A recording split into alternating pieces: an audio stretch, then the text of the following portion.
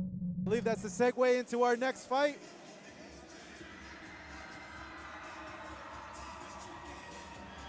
As I believe that is Arturo Lemus coming in, getting the crowd pumped, getting Jess pumped a Getting little me bit. pumped, I'm dancing over here. Like I mentioned, he has an 0-3 record. This fight scheduled to be in the bantamweight division, three rounds, five minutes.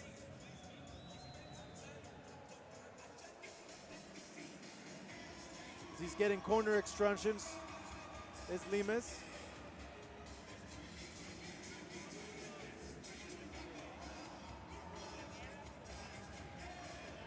Give him a, a little pump up slap there as he enters the cage here in Tijuana. Got a female contingent too, I hear. the ladies the, the ladies definitely like this yeah, one. they do.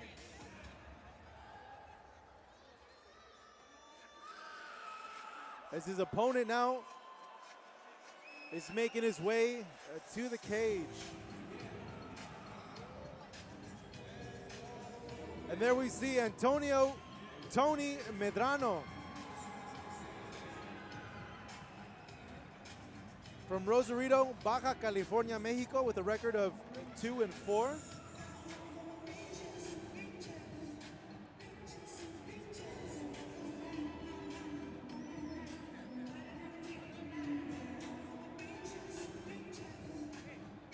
All right.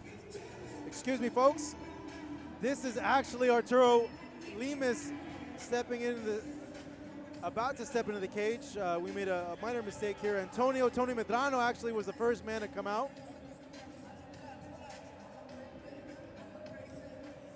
As we see Arturo Lemus getting Vaseline put on his face. So it's Medrano was the one that was pumped up. the Lemus uh, fan of uh, hip hop there.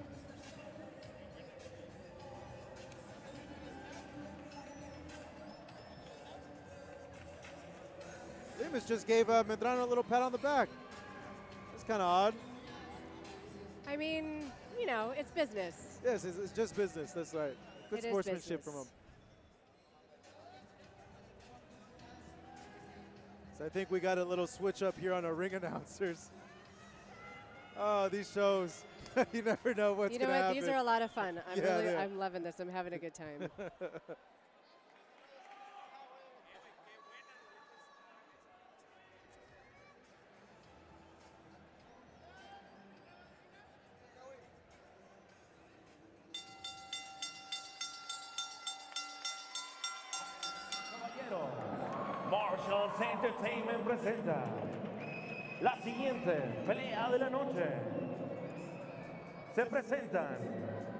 en un combate pactado a tres rounds.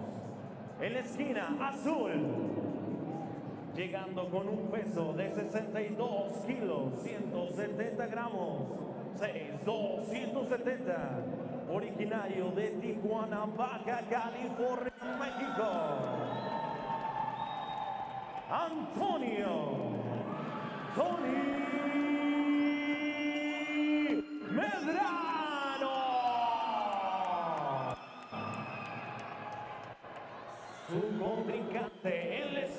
roja, llegando con un peso de 62 kilos, 120 gramos, 6'2", 120, originario de Tijuana, Baja California, México, Arturo Levo.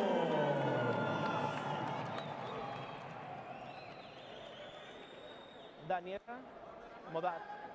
Como referee de este combate, Daniela Modat. Peleador, peleador, peleador, peleador, ya saben bien sus reglas, hagan una pelea limpia. Cuando yo diga alto o stop, hay que pararse, chocan las manos a sus esquinas. Bantamweight action headed your way right now. Antonio Medrano taking on Arturo Limas. Listo. As we begin the action here from the Auditorio Fausto Gutierrez Moreno. Kicks being exchanged by both fighters. front kick from Medrano.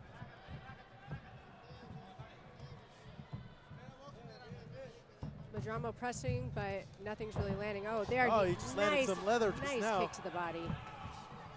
Spinning back kick missed. Lemus getting out of the way.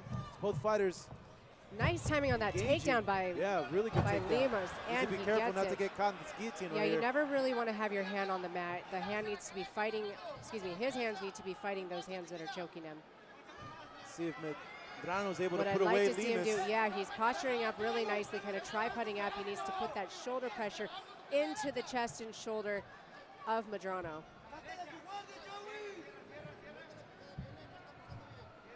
See if it's a full commitment. I know that takes so much energy out of you when you're trying to squeeze. and the arm in guillotine is, is a little bit more difficult. He needs to really climb his arms up. Oh, nice to the sweep. He's still holding on to that head. That, that's not really a position that you can submit from. If, if I were him, I'd like to see him posture up and start punching and scoring. Lima's doing a good job of really holding him down onto him, though. Yeah, see uh, the, the hand positioning there. He's trying to get the hand away from him or off of him at that area. I think Medrano still has his arm kind of locked around his head. It's hard to see from here, but it looks like Lemus is trying to to work. No, he doesn't have anything. Lemus is doing a, a good job of not have. Well, he was doing a good job of keeping him close, not creating too much space for Medrano to go ahead and, and launch punches at him. Well, he's holding him down nicely. I mean, the body goes where the head goes, and if the head's down, the body stays down. However, he's not he's not scoring, and he's still in a bad position. He swings for the armbar, and then he gets passed by Medrano. Medrano now in in a dominant position, side control. See if he puts the knee on belly and attempts to mount. No, he's starting to isolate that arm of Lemus. If I were Lemus, I would really try and go out the back door, try and reach for a single, try and shrimp out. He's got to create space. Rather than that, he's he's holding Medrano down on top of him, which isn't allowing him to fr- get free, and it really isn't allowing him to score. See now the knee on the belly. Attempts to throw a punch, misses the head, hits the canvas. Medrano switching off to front headlock. It looks like he's really, you know, fishing for those submissions. I think he really likes those chokes.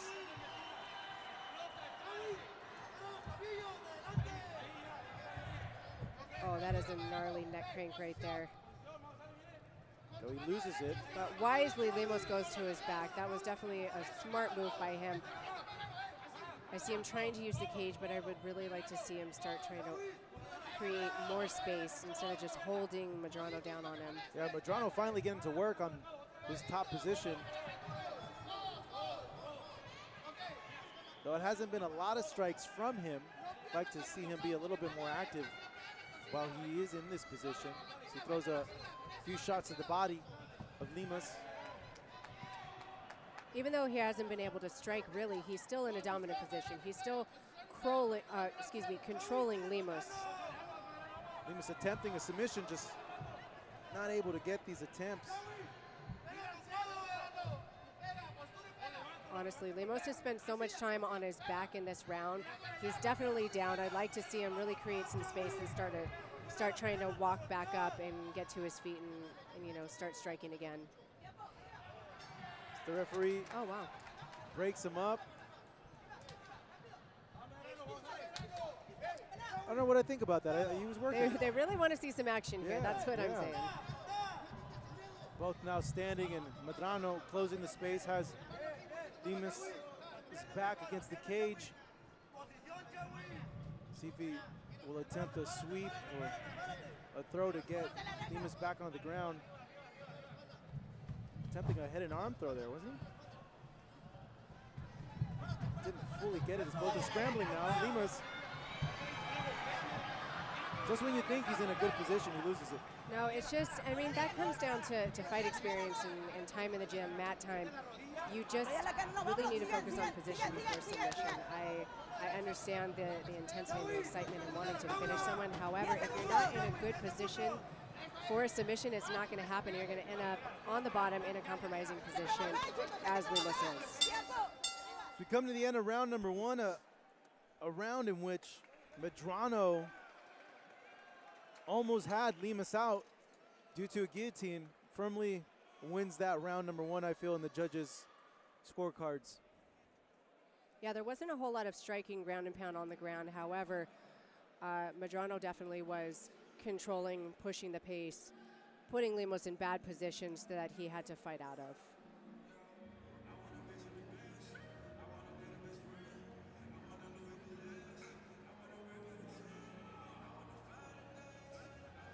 See the corner of Lemus. Excuse me, that's Medrano giving him advice. I think that water was too cold for him. He spit it right out. As we have a replay of the action that happened from round number one, Jessica, she's here breaking the action where uh, both fighters were working. You mentioned, I guess the referee wants to see more action.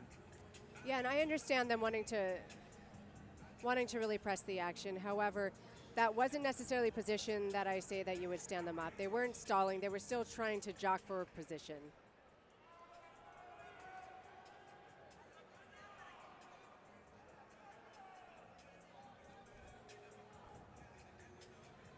Medrano confident.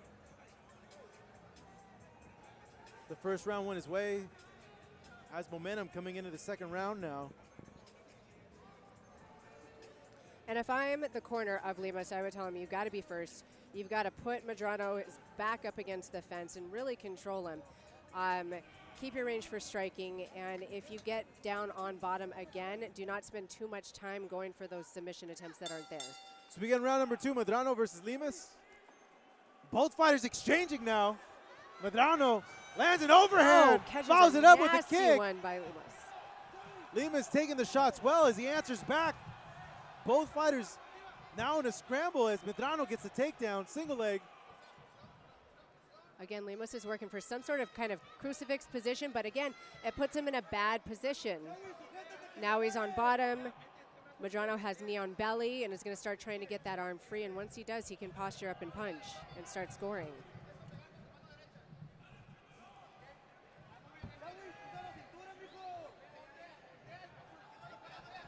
There's a great opportunity for Lemus to get out the back, but he's holding on to these to these submission attempts that just aren't there. Both scrambling now. Lemus getting up, but he's fighting off the takedown attempt of Medrano, who gets it. Though Lemus attempting to It looks like he has a. It looks right? like he has a guillotine Yeah. locked in. Um, however, this is You not can't get full extension necessarily. Yeah, this is not necessarily the position you want to be in. He Yeah. wants to get into guard or use it to stand up and then get back into a sprawl position and ground and pound from there. But just just holding on, he cannot hold on right there. He has to transition. Yeah, he's gonna gas his arms out. Some blood coming out, I believe, from the nose or mouth of Medrano. And now Medrano finds his way back to guard. Getting his posture up. Oh, and passes right away. North-south North-south position. position. Yep. Lemus going through some trials here at- in this fight. Been in some really bad positions. Been able to, to I mean- fight out of it. Yeah, he's in it. I just think his, his fight IQ isn't quite there. He needs a little bit more mat time, a little more experience. And again, this is how you get it, unfortunately. You get it the hard way. The hard way.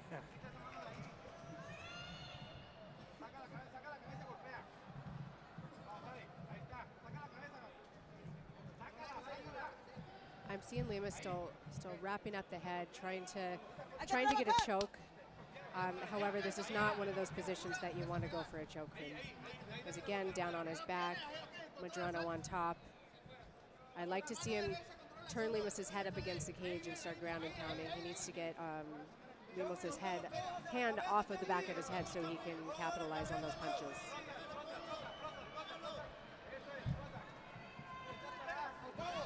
Medrano attempting to land some strikes here in the guard of uh, Lemus. I mean, Lemus's guard was, was wide open right there. He can could've posture up, punch.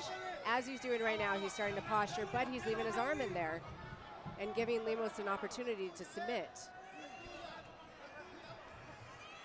difficult to see from this angle if Lemus does in fact have it. Nope.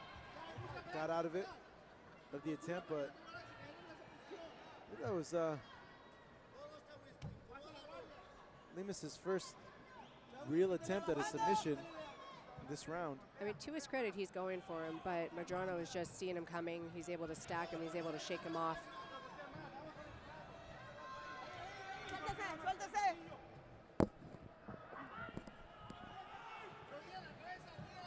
Minute 25 left in round number two.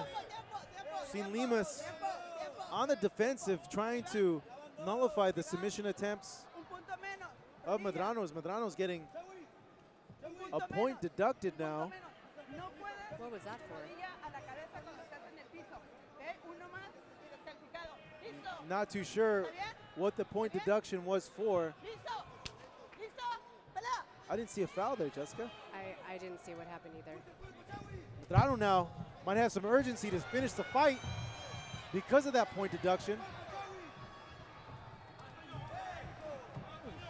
So gets a hold of him, has his back now. Big slam there from Medrano.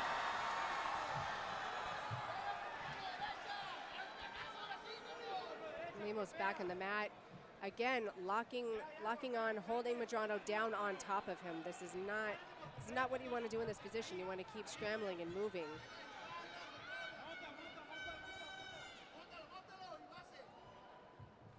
Thirty seconds left. Let's see if Medrano is able to close out the round strong.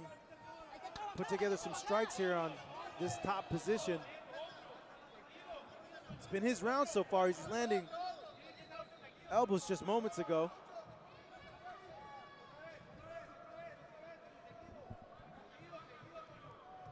Lemus continues to, to lock him up, not allow too much space to open up between them as he gets him back in his guard.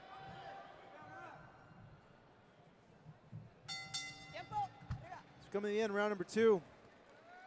I'd really like to know what that point deduction was for. Yeah, it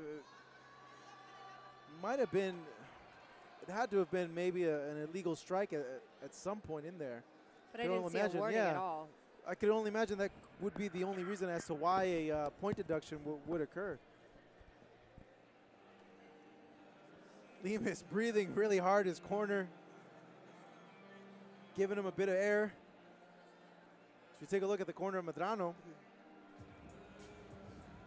doesn't seem as fatigued as Lemus, but Medrano's been the one that's been making Lemus work, been the one that has been winning the rounds and, putting the damage on Lemus.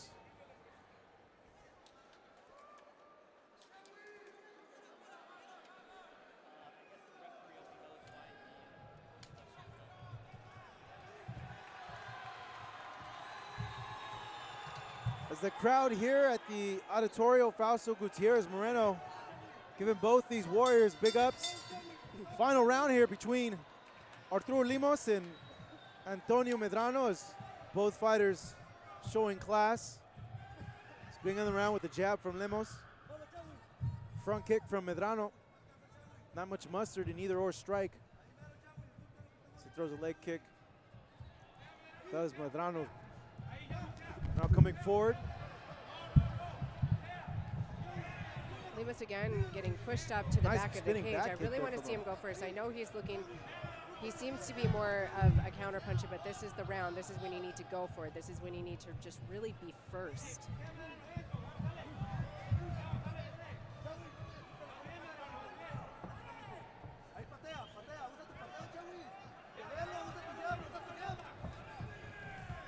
Lennis landed a good straight there, but Know, he's landing. However, I'd like to see some feints. I'd like to see him set things up with the jab. He's really leading in with a Good elbows he's, He's ducking down and then going with that overhand right. And yeah, he might be not really overextending a bit happening. because he got in this position here because he over, overextended. Medrano was able to get the takedown there. Yeah, he's, he's throwing himself forward, he's throwing himself off balance, and that's making it really difficult to capitalize on the strike that he just landed. He's trying to scoop the knee, but Lemus getting that arm. He had the arm under there to try to stop him from scooping up the knee.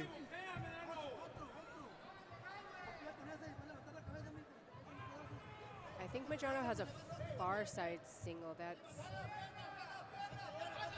it's going to be difficult for him to get that one. He'd need to switch off to a double leg to get to Yeah, get. that's what. I was just thinking right now. Why doesn't he switch off the double leg? Yeah, I mean he he may not have situational awareness right now. He may not exactly understand where he is. There you go. A little bit better position now. Lemus on his back once more. Climbing against the cage to get some space. Try to get Medrano off of him, but Medrano back in the guard of Lemus.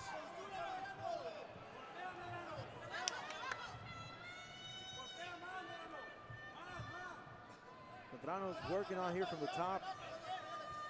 And again, Lima's just holding him down. And I mean, he, he got what he wanted, you know? The referee not giving them any time as both fighters. Hold on, I'm gas. tired. Give me a second. This Yeah, I is when I, know. get a little breather.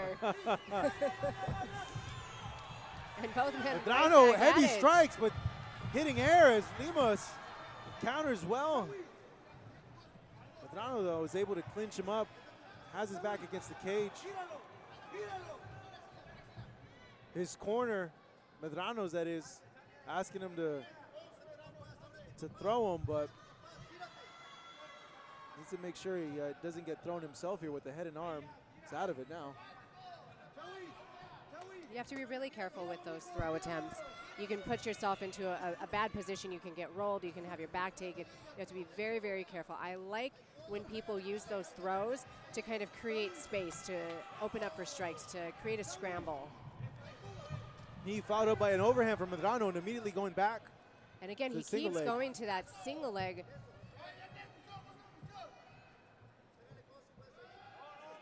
Awkward position here. Oh, he has a crucifix. See if he's able to capitalize on this. This could be the moment. Oh man, this is where you just been got to looking go for. for. it. Isolate that arm and just start raining down elbows. Try and come left. on top. This could be the break that Lemus was looking for. Medrano flips over. Nice counter to it. Nice transition. You don't ever see transitions like that too often. Usually when they get you in that position, it's pretty, uh, pretty donezo at that point. It is, but I mean that was that was a great defense to it. It's definitely like a Jeff Glover type defense. And this is where I'd like to see Medrano just posture up and punch and, and finish strong. To be the final 30 seconds of this round number three between Medrano and Lemus.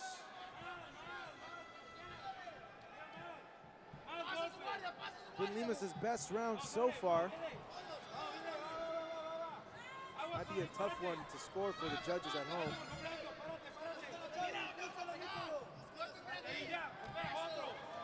Medrano There we go. That's what I want to see. I want to see him posture up and punch, but but he just keeps letting Lemus isolate his arm and giving him opportunity. I mean, I know he's he's confident against the submission attempts, but that just moving forward, that's some something that he's going to need to work on. both fighters are gassed. Both men exhausted, laying next to each yeah, other like, on the mat. you know. Somebody get a picture of that. That's awesome.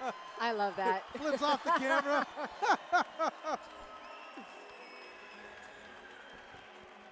Good sportsmanship being shown by both fighters that they embrace in the center of the cage. And I mean, what a battle. You know, that was a challenge for both men. They all did some good stuff. and I love that they can just, you know, smile and shake Yeah, all smiles after.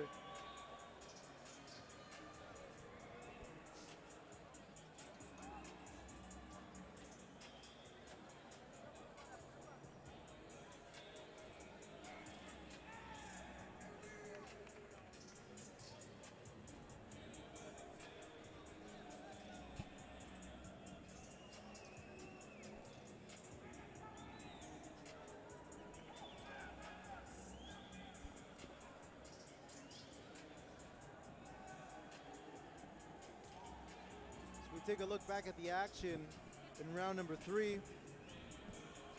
It's uh, well, a break in the action as the end of round number three as both fighters are Both men just exhausted, embracing. They went through me- battle together. Yeah, it reminds me of like a hard training session when like it's finally over and you're just collapsed. You're like, oh god, it's done. You know, I, I love that part of training where you guys are just so physically exhausted. You guys pushed each other, you tested each other's limits, and then you can just, you know, smile and laugh. Medrano thinks he's won. Cuts his hands in the air.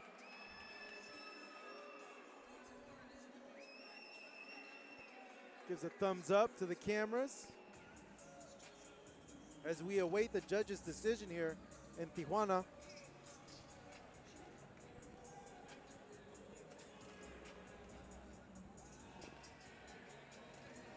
Lemus looks exhausted.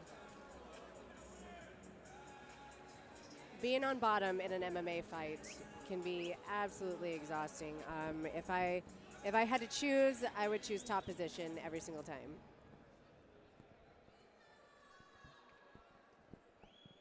So see him acknowledge the corner of Lemus. Judge is taking a little bit longer. I always get a little uh, worried when that happens. Well, he also had that point deduction, which That I'd still like true. to know what that was about, what the ref saw that, that we clearly couldn't see from here.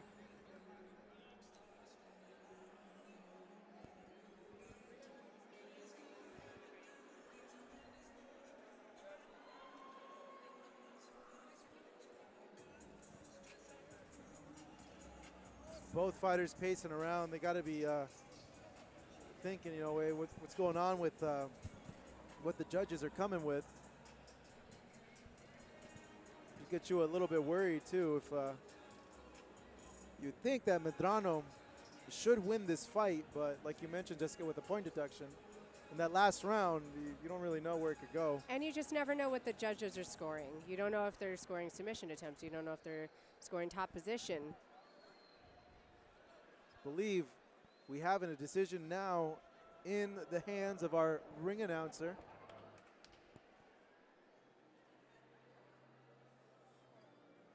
Let's make it official. Let's see who won this fight. Damas y caballeros, me complace en anunciar al vencedor de este combate. Los tres jueces dieron 29 a 27, por lo tanto, por decisión unánime, el vencedor de este combate, Antonio Tony Medrano. So we see Tony Medrano, who now improves his record to three and four, clawing his way back into the win column with a unanimous decision win here in Tijuana over Arturo Lemus. I felt that he won the fight. We saw it was 29-27, point deduction. He won all three rounds.